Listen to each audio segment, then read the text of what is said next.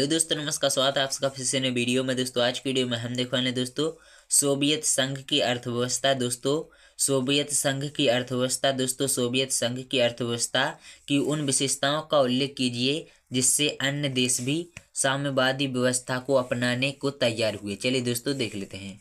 दोस्तों, सोवियत संघ की सरकार ने, दोस्तों, सोवियत संघ की सरकार ने अपने सभी नागरिकों के लिए न्यूनतम जीवन स्तर पर दोस्तों, सुनिश्चित कर दिया था।